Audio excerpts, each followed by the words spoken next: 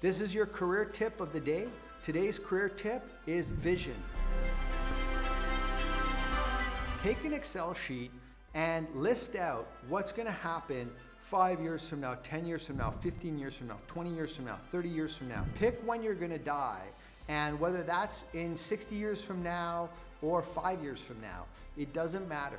Write out what do you want to have accomplished? Who do you want to be when you pass?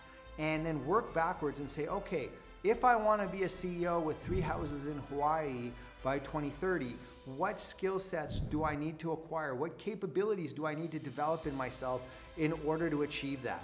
If I want to be earning X amount, what skill sets, what qualifications, what do I need to develop in myself in order to achieve that? So set your vision and then set a capability matrix below that in terms of what you need to realize that vision.